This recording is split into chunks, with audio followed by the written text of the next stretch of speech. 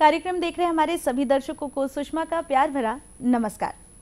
दर्शकों, स्वागत है आपका आज के इस विशेष कार्यक्रम में, जिसमें हम चर्चा करेंगे राष्ट्रीय साइबर सुरक्षा जागरूकता पर। दर्शकों, बीता कुछ समय हम महामारी से जूझ रहे थे, और बीते कुछ समय में हमने एक और तरक्की भी की, जो कि थी तकनीकी तरक्की। इंटरनेट के इस दौर में, जहाँ हमने बहुत सारी चीज़ों को आसानी से अपने पास उपलब्ध कराया। वहीं दूसरी ओर हम साइबर क्राइम के चपेट में भी आए।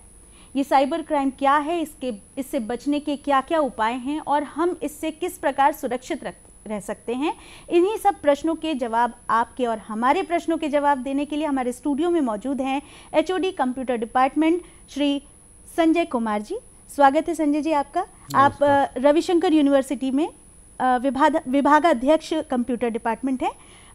संजय जी सबसे पहला प्रश्न जो मैं आपसे करना चाहूँगी इस विषय से संबंधित वो ये है कि किस प्रकार के क्राइम जो हैं साइबर क्राइम के अंतर्गत आते हैं? कंप्यूटर लैपटॉप मोबाइल इंटरनेट और इंटरनेट। इंटरनेट माने किसी ऑर्गेनाइजेशन के अंदर का नेटवर्क। इन माध्यमों से जो भी प्रकार के अपराध होते हैं उनको साइबर अपराध की श्रेणी में रखा जाता है। साइबर अपराध की खासियत ये है कि इसमें जो है डायरेक्ट वायलेंस हिंसा तो नहीं होती है लेकिन रेपुटेशन हार्म होता है या फाइनेंशियल लॉस हो जाता है। जी। तो इसी वजह से हम लोग को बहुत जागरूकता की आवश्यकता है अच्छा संजय जी आपने अभी जो प्रकार बताए इसके आ, साइबर क्राइम के तो क्या ये अभी जो बीता कुछ समय है जिसके आ, मैं कहूँ तो दो साल जिसमें हमने बहुत तरक्की की ये इसी समय से चालू हुआ या इसका कोई इतिहास भी है? नहीं नहीं इसका इनफैक्ट इतिहास बहुत पुराना है। अच्छा। देखा जाए तो सन 1820 जबकि एबेकस का एक मिलता है लेकिन उसके बारे में ज़्यादा जानकारी उपलब्ध नहीं है। ऑन अच्छा। रिकॉर्ड जो रिपोर्टिंग हुई है वह सन अठारह सौ चौवालीस में हुई है और टेलीग्राफ ऑफ़िस फ्रांस में वहाँ पे कुछ मैसेजेस को हैकर्स ने हैक किया था। ऐसी रिपोर्टिंग हुई थी। और जहाँ तक भारतवर्ष का सवाल है तो सन उन्नीस में कंप्यूटर वायरस के लिए एक शिकायत दर्ज की गई अच्छा थी। हम जागरूकता पर बात कर रहे हैं अभी सुरक्षा जागरूकता पर। तो किस प्रकार की ये सुरक्षा हो सकती है? देखिए जागरूक हम लोग को सुरक्षा कई स्तरों पर आवश्यक है लेकिन अगर देखा जाए कैटेगराइज किया जाए तो एक तो राष्ट्रीय स्तर है। दूसरा आप ऑर्गेनाइजेशन या संस्था स्तर पर करें और तीसरा हम लोग मान सकते हैं कि व्यक्तिगत स्तर। इंडिविजुअल बेसिस पर। अगर राष्ट्रीय स्तर पर आप बात करें तो आजकल साइबर आक्रमण से अटैक साइबर अटैक से इतने नुकसान पहुँचाए जा सकते हैं जो कि साधारण बम से नहीं। जी जी। फॉर एग्जांपल पावर ग्रिड होता है उसको क्रिटिकल इंफ्रास्ट्रक्चर कहा जाता है। पावर ग्रिड से पूरा देश जुड़ा हुआ है।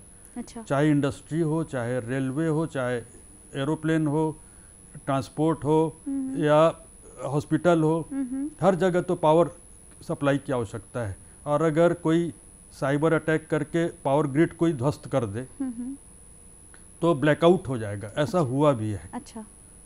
तो यह कहलाता है राष्ट्रीय स्तर पर क्रिटिकल इंफ्रास्ट्रक्चर को कोई अटैक करे तो भारत सरकार काफ़ी सतर्क है जागरूक है। बीते वर्षों में सन 2020-21 में चार हज़ार करोड़ रुपया का केवल भारत सरकार ने इसी साइबर सुरक्षा के लिए खर्च किया। और साइबर सुरक्षा के लिए भारत सरकार ने सर्टिन नाम की एक संस्था का भी की स्थापना की है जिसका काम है कि केवल साइबर अटैक के बारे में सचेत करना। अच्छा आपने ये जो जानकारी दी अभी हमारे दर्शकों को आ, मैं जानना चाहूँगी कि आ, इसके लिए कुछ नियमावली तैयार की गई होगी। कि ये साइबर सुरक्षा से किस प्रकार बचना चाहिए तो इसके लिए क्या नियमावली बनाई गई है? क्या है कि आईटी एक्ट 2000 बना था। अच्छा। प्रमोद महाजन जी थे उस समय आईटी मिनिस्टर जिसमें कि हुआ कि ईमेल जो है वो आपका लीगल डॉक्यूमेंट है। सन 2008 में इसे रिवाइज किया गया कुछ अमेंडमेंट किए गए। इसमें ये बताना आवश्यक होगा सन 2008 और इस बीच में सोशल मीडिया फेसबुक व्हाट्सएप वगैरह बहुत ज़्यादा आ गए हैं। जी जी। तो फिर से अमेंडमेंट की तो आवश्यकता है। जी। तो भारत में तो इसी प्रकार का नियम है। अच्छा। आईटी एक्ट जी। आ, हम अपने दर्शकों को एक बार फिर बता दें कि आप हमारा ये कार्यक्रम अपने हमारे यूट्यूब चैनल पर भी देख सकते हैं। यदि आपके मन में कोई प्रश्न आ रहा हो जिसकी जानकारी आप हमारे एक्सपर्ट से चाहते हैं तो आप हमारे यूट्यूब लिंक पर ही कमेंट करके अपने प्रश्न पूछ सकते हैं। डॉक्टर संजय जी मैं आपसे जानना चाहूँगी कि आज का ये जो दौर है मोबाइल और इंटरनेट का दौर है तो बहुत सारे प्रकार के पासवर्ड भी हम क्रिएट करते हैं तो अपने पासवर्ड को हम किस प्रकार सुरक्षित रख सकते हैं? पासवर्ड के बारे में जहाँ तक सवाल है एक तो आम जनता को बताना चाहूँगा जी। अपने केवल सुविधा के लिए हम लोग क्या करते हैं कि इजी पासवर्ड बनाते हैं। जी। वन टू थ्री फोर या अपने नाम से संबंधित। और हैकर का काम होता है हैक करना प्रोफेशनली जी. वो लोग क्या करते हैं ट्रायल एंड एरर मेथड कहा जाता है जिसमें कि लूप लगाया जाता है और वन टू थ्री फोर वो एक सेकेंड में हज़ारों साइकिल चल जाते हैं. जी. तो ये सब इजीली ब्रेकेबल होते हैं जो कि इसी पर केवल वर्क कर रहा हो कि कैसे पासवर्ड को ब्रेक करना है. जी. तो पासवर्ड स्ट्रांग रखना चाहिए कॉम्प्लिकेटेड रखना चाहिए. थोड़ा सा अपने को अनीज होगा उसमें दिक्कत होगी. और पासवर्ड जैसे कि हम लोग का मोबाइल वगैरह कभी गुम जाता है चोरी हो जाता है ख़राब हो जाता है तो मोबाइल से ज़्यादा ज़रूरी हो गया कॉन्टैक्ट जी। तो इसके लिए अच्छा होगा कि एक जो है ना उसमें जी में आप सिंक्रोनाइज कर लें कॉन्टैक्ट्स को।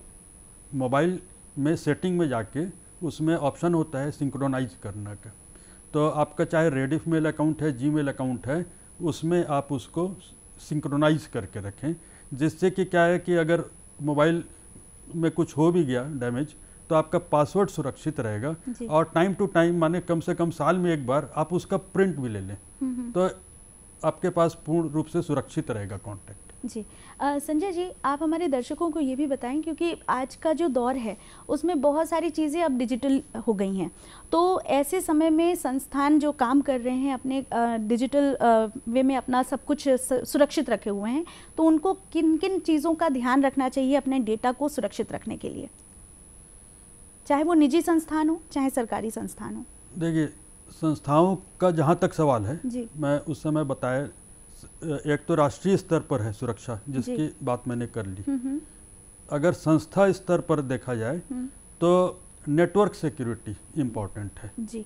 क्योंकि जैसे एक बड़ा कॉलेज है यूनिवर्सिटी है हॉस्पिटल है तो उसमें एक रूटर होता है जिसके थ्रू की पूरा का पूरा इंटरनेट ट्रैफ़िक आता है या उससे जाता है बाहर की तरफ़ में। तो वहाँ पे एक फायरवॉल लगाना चाहिए अच्छे किस्म का फायरवॉल लगाना चाहिए फायरवॉल का काम एक गेटकीपर की तरह होता है चौकीदार की तरह जो कि इंटरनेट ट्रैफ़िक को मॉनिटर करता है कौन सा ट्रैफ़िक है कौन भेज रहा है कहाँ भेज रहा है ये सब पूरा उसमें एक वो कंट्रोल करने की उसकी क्षमता होती है। और साइड बाय साइड कई सारी पॉलिसीज़ उसमें रह, फीचर्स रहते हैं जिनको अप्लाई किया जाता है किया जा सकता है कि कौन से यूज़र को हमको क्या परमिशन ग्रांट करनी है नहीं करनी है। जी। तो ये फायरवॉल आवश्यक रूप से लगाना ज़रूरी हो गया है अन्यथा वेबसाइट हैकिंग की बहुत समस्याएँ आजकल आने लग गई हैं। हम्म, हम्म, हम्म, और उसके अलावा लाइसेंस सॉफ्टवेयर का यूज़ करना चाहिए। अच्छा। पायरेटेड का नहीं करना चाहिए। तो और उसके लिए अच्छा होगा कि एक सलाह देना चाहूँगा preloaded computer preloaded operating system के साथ कंप्यूटर खरीदें। अच्छा। कहने का मतलब उसका हो सकता है कॉस्ट कुछ बढ़ जाए तीन चार हज़ार। लेकिन उसमें ऑपरेटिंग सिस्टम कम से कम हो सके तो ऑफ़िस भी वो प्री लोडेड रहे कुछ ज़्यादा पैसा खर्च करके तो आपका लाइसेंस सुरक्षित हो जाएगा। जी। संजय जी यदि हम मनी ट्रांजैक्शन की बात करें तो आज भी एक बहुत बड़ा हिस्सा है जो कि एटीएम कार्ड का यूज़ करता है जो कि एक सरल और सुलभ माध्यम है। तो एटीएम कार्ड के यूज़ के दौरान क्या क्या सुरक्षा बरतनी चाहिए? क्या क्या ध्यान रखना चाहिए? सावधानी बरतनी चाहिए? एटीएम कार्ड जो है आजकल बहुत वलनरेबल हो गया है। माने कि सोर्स ऑफ़ अटैक बहुत बड़ा एक एटीएम ही कार्ड है। जी। एटीएम कार्ड के माध्यम से बहुत सारी धोखाधड़ी हो रही है। तो एटीएम कार्ड के मामले में हम लोग को विशेष सुरक्षा बरतने की आवश्यकता है। सबसे पहले तो सबसे आसान चीज़ मैं यही कहूँगा कि आपको जो एटीएम कार्ड बैंक देती है जी। बहुत कम ही लोग हैं जो कि एटीएम कार्ड पे जो निर्देश दिए हैं शुरू से आखिर तक पढ़ते हैं या उसके साथ जो मैनुअल छोटी सी बुकलेट मिलती है बहुत कम लोग हैं जो कि पूरा शुरू से आखिर तक समझ समझ के पढ़ते हैं। पहले तो घर में उसको अच्छे से पढ़ें अध्ययन करें उसका। उसमें क्या सावधानियाँ दी उसके अलावा एटीएम कार्ड में चूँकि फ्रॉड बहुत ज़्यादा होने लगे हैं उसमें फीचर होता है जो मैं बता रहा हूँ उसमें मैनुअल में दिया भी रहता है। जी। उसमें आप लिमिट सेट कर सकते हैं। फॉर एग्जांपल जैसे कि एक हज़ार दो हज़ार रुपये का आप लिमिट सेट कर दीजिए कि एक दिन में उतना ही रुपया निकलेगा।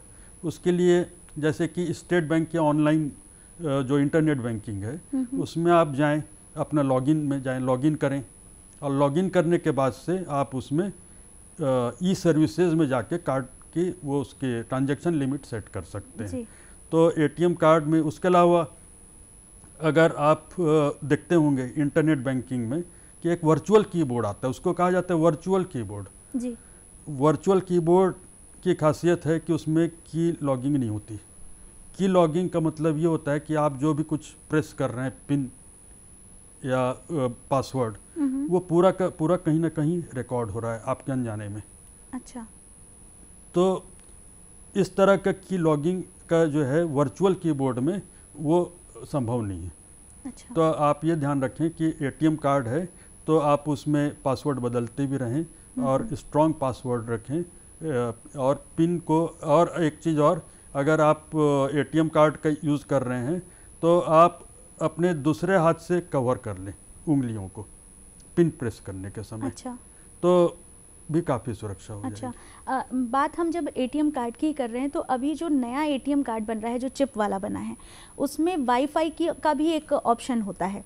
कि डायरेक्ट वाईफाई से पैसे डिडक्ट किए जा सकते हैं ये कितना सुरक्षित है जो चिप वाला बन रहा है उसमें एक ये खासियत है क्लोनिंग नहीं होगी अच्छा उसमें माइक्रो प्रोसेसर रहता है तो उसके कारण उसके खासियत है कि क्लोनिंग के उसमें संभावना तो नहीं है लेकिन जो पासवर्ड संबंधित मैंने बताया हम्म, हम्म। वो पिन संबंधित हम्म। वो सावधानियाँ आपको तो तथापि रखनी पड़ेगी क्लोनिंग अच्छा। का मतलब ये होता है कि जाने अनजाने हम लोग क्या करते हैं कि कई बार मॉल में या फिर पेट्रोल पंप में हम लोग अपना कार्ड दे देते हैं किसी को ट्रांजैक्शन के लिए। यह अच्छी प्रैक्टिस नहीं है। तो इसी को अवॉइड करने के लिए उसमें माइक्रो प्रोसेसर एक चिप लगाया गया अच्छा। ठीक है संजय जी हम इस विषय पे आगे भी चर्चा करेंगे। वक्त है एक छोटे से ब्रेक का। दर्शकों मिलते हैं छोटे से ब्रेक के बाद।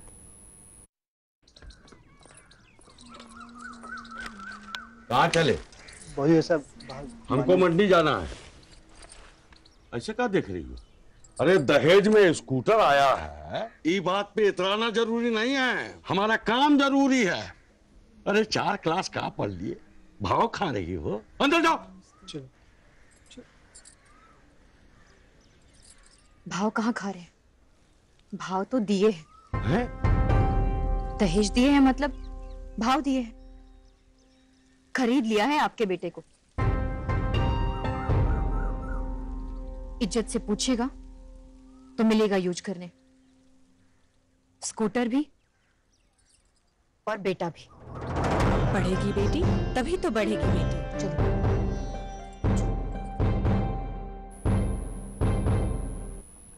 दर्शकों स्वागत है आपका ब्रेक के बाद। आज हम इस विशेष कार्यक्रम में चर्चा कर रहे हैं राष्ट्रीय साइबर सुरक्षा जागरूकता पर। हमारे साथ एक्सपर्ट के रूप में मौजूद हैं डॉक्टर संजय कुमार जी।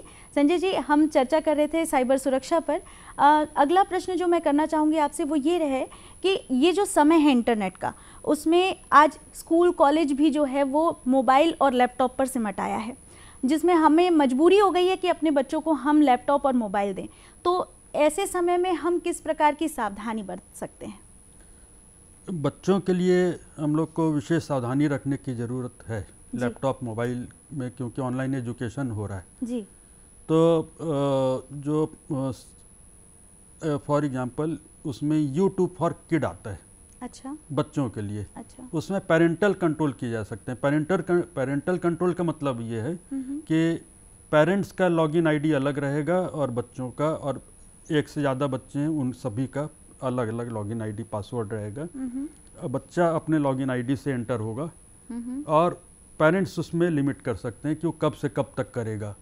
और भी कई सारे कंट्रोल्स उसमें होते हैं। अच्छा। तो इसके अलावा यूट्यूब फॉर किड्स के अलावा भी कई सारे और ऐप्स आते हैं अच्छे अच्छे जैसे कि एक सेफ़ फैमिली नाम का ऐप है और भी हैं। तो उनको इंस्टॉल करके कुछ हद तक हम लोग उनको सुरक्षा प्रदान कर सकते हैं। अच्छा ये साइबर आक्रमण जो है इससे आम आम नागरिक जो है वो किस प्रकार बच सकता है?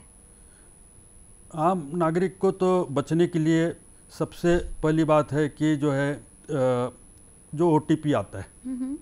OTP ही एक माध्यम है जिससे कि किसी पर्सन की आइडेंटिटी आइडेंटिटी को बैंक या कोई और एजेंसी वो असर्टेन करती है सुनिश्चित करती है। और होता यह है कि अ, हम लोग अपनी ही गलती से ओटीपी बता देते हैं किसी को। इसका ये मतलब हुआ कि हम लोग ने अपनी आइडेंटिटी किसी दूसरे को दे दी उसको ऑथोराइज कर दिया। जी। उसके बाद कहते हैं कि अ, ऐसा हो गया वैसा हो गया फ्रॉड हो गया। जी। अगर आप ओटीपी बताने के बाद से अगर आप पुलिस में भी जाएँगे बैंक में भी जाएँगे तो आप लोग को ये जवाब मिलना सुनिश्चित है कि आपने ओटीपी बताया अब आप ही की ज़िम्मेदारी है। आपने सामने वाले को ऑथोराइज किया जी। चाहे गलती से चाहे जान के। तो इस तरह का ओटीपी आधार नंबर कई बार आता है अपने पास फ़ोन आता है कि आपका अकाउंट 24 घंटे में बंद हो जाएगा। नहीं तो फिर आप इस मलिशियस इस ये लिंक को आप प्रेस करिए। और इसमें कुछ डाटा दीजिए।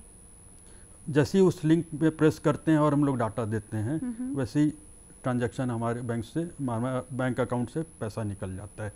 तो अपने को थोड़ा सा संयम बरतना है क्योंकि एक तरह का हैकर जब बात करते हैं तो हिप्नोटाइज टाइप का हो जाता है सम्मोहन टाइप का हो जाता है। बहुत ज़्यादा जानकार लोग भी उसके शिकार में चंगुल में आ जाते हैं। जी जी।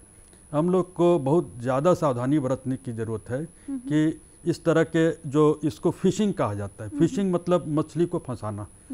तो इसी प्रकार से आपके पास एक लिंक भेजा जाएगा जी। और उसमें कहा जाएगा कि आपको इनाम मिल रहा है। जी। या फिर आपके साथ आपको ये पनिशमेंट मिलने वाली है? आपका कुछ ये होने वाला है माने कि एटीएम कार्ड ब्लॉक होने वाला है। तो हम लोग कभी रिस्पॉन्ड ना करें उसको। संजय जी एक वर्ग है बुज़ुर्गों का जो कि रिटायरमेंट के बाद उनके पास एक अच्छी खासी रकम आती है और वो उनके बैंक अकाउंट में रहती है जिनको जानकारी नहीं होती कि ऑनलाइन ट्रांसफ़र या ट्रांजैक्शन किस प्रकार किया जाता है। ऐसे में वो फ्रॉड केसेस से किस प्रकार बचें? जो लोग जो सज्जन रिटायरमेंट के दहलीज पर हैं या जस्ट रिटायर हुए हैं उनके अकाउंट में ऑल ऑफ़ ए सडन अचानक बहुत बड़ी बड़ी राशि आ जाती है। और हैकर्स की नज़र में वो लोग रहते हैं। जी। तो उन लोग को तो विशेष ही जागरूकता की आवश्यकता है। जी। तो वो लोग जो है जो मैंने बताए उपाय जैसे कि अपना OTP Aadhaar number personal detail कभी ना शेयर करें। हम्म, किसी इस प्रकार के लिंक को कभी भी ना वो प्रेस करके अपनी कोई इन्फॉर्मेशन दें। मैं बोल रहा हूँ लेकिन उसके बावजूद ऐसा होता है मैं जानता हूँ। जी जी। अच्छे अच्छे जानकार लोग भी उस चंगुल में आ जाते हैं। जी। उसके अलावा अच्छा होगा कि जो है जो कई बार वाईफाई जी। पब्लिक पब्लिक प्लेस से एयरपोर्ट पर रेलवे हाँ हाँ। तो हम लोग को अवॉइड करना चाहिए फाइनेंशियल ट्रांजैक्शन करने के समय। फाइनेंशियल ट्रांजैक्शन मतलब पेमेंट वगैरह करने के जी। समय में। जी। होटल में गए वहाँ पर वाईफाई है। हम लोग खुश हो जाते हैं। कभी कभी तो ऐसा भी होता है कि हम लोग को एक फ्री वाईफाई मिल रहा है कहीं से और हम लोग खुश हो जाते हैं देखो हमने यूज़ कर लिया फ्री में इंटरनेट ऐसा नहीं है। जी। तो हम लोग को ये फ्री वाईफाई अवॉइड करना चाहिए। और इस तरह के अगर आप कभी साइबर कैफ़े में काम करना पड़े हम्म, तो साइबर कैफ़े में भी की लॉगिंग हार्डवेयर एक लगाई जा सकती है। आप क्या प्रेस कर रहे हैं रिकॉर्ड हो सकता है कहीं ना अच्छा कहीं। अच्छा। तो साइबर कैफ़े में भी आप अवॉइड करें हम्म, फाइनेंशियल ट्रांजैक्शन करना। उसके अलावा एक इनकॉग्निटो मोड कहलाता है। हम्म, सेटिंग में जाके इनकॉग्निटो मोड में क्या होता है कि हिस्ट्री ऑफ़ हो जाती है। हिस्ट्री ऑफ़ होने से क्या होगा आप हो सकता है आप साइबर कैफ़े में वर्क करके चले गए और बाद में जाके कोई बैठ गया और देखने लगा आपने क्या क्या वर्क किया तो हिस्ट्री ऑफ़ होने से सब ऑफ़ हो जाएगा। अच्छा। मोबाइल जो एक हमारे पास अभी सबके पास होता ही है और उससे कई प्रकार के ट्रांजेक्शन भी किए जाते हैं। यदि किसी कारणवश मोबाइल गुम हो गया या चोरी हो गया तो सबसे पहले उसकी शिकायत कहाँ दर्ज करनी चाहिए और हमारा जो डेटा है वो किस प्रकार सुरक्षित रखना चाहिए? मोबाइल अगर चोरी हो रहा है या गायब हो रहा है सबसे पहले तो एक one four four two two number है। जी। उसमें आप इन्फॉर्म कर दें फ़ोन करके। जी। क्या होता है सी डॉट नाम की एक सेंट्रल गवर्नमेंट की संस्था है जो। कि एक डाटाबेस मेंटेन करती है। हम्म, डाटाबेस में क्या रहता है आपका मोबाइल नंबर हम लोग जानते हैं दस डिजिट का मोबाइल नंबर होता है। लेकिन कम लोग जानते होंगे कि मोबाइल नंबर के अलावा एक आईएमईआई नंबर भी होता है एक सिम नंबर भी होता है। आईएमईआई नंबर 15 डिजिट का है सिम नंबर 20 डिजिट का है। ये सब कंप्लीट एक डाटाबेस रखा जाता है। और सबसे पहले तो क्या किया जाएगा वहाँ पर सी डॉट क्या करेगी कि उसका माने ब्लॉक कर देगी। उसके कारण किसी अनऑथोराइज हाथ में भी है तो वो अगर दूसरा भी सिम लगाएगा तो उससे वो कुछ वर्क नहीं कर पाएगा। अच्छा। अ, जैसे बैंक में जो धोखाधड़ी होती है उससे किस प्रकार बचा जा सकता है? अगर बैंक में कभी बैंकिंग फ्रॉड हो ही गया तो आप एक उसमें नंबर है one five five two six zero अच्छा। आप उस पर आप तो इन्फॉर्म पहले तो कर दीजिए। ठीक है? One five five two six zero पर इन्फॉर्म करने से क्या होगा कि क्या होता है कि हैकर जब आपके अकाउंट से पैसा निकालते हैं तो वह कई सारे अकाउंट में ट्रांसफ़र करते चले जाते हैं धीरे धीरे करके जी। छोटे छोटे टुकड़ों में। जी। यहाँ पर क्या होगा कि आपका आपकी राशि जिस भी अवस्था में जिस भी जगह पर है वो फ्रीज हो जाएगी। अच्छा। और फर्दर वो ट्रांजैक्शन में नहीं आ पाएगी। नहीं हो पाएगी। सबसे बड़ी तो ये बात है। जी। उसके अलावा आप बैंक में पुलिस में भी इन्फॉर्म करिए। जी। और जैसा मैंने लेकिन बताया अगर आपने ओटीपी शेयर किया आप ही की गलती है। हम्म, हम्म, तो आपको जवाब मिल सकता है आप तैयार रहिए कि आप ही उसके जिम्मेदार हैं। हो सकता है ऐसा आपको कहा जाए बैंक जी। आज मोबाइल एप्लीकेशन में बहुत सारे अभी तो ऐप्स हो गए हैं मनी ट्रांजेक्शन के लिए यू पी हो चुकी हैं। तो इसको इंस्टॉल करते समय क्या क्या सावधानी बरतनी चाहिए? हम लोग को देखना चाहिए कि गूगल प्ले स्टोर के थ्रू ही एप्लीकेशंस को इंस्टॉल करें। अच्छा।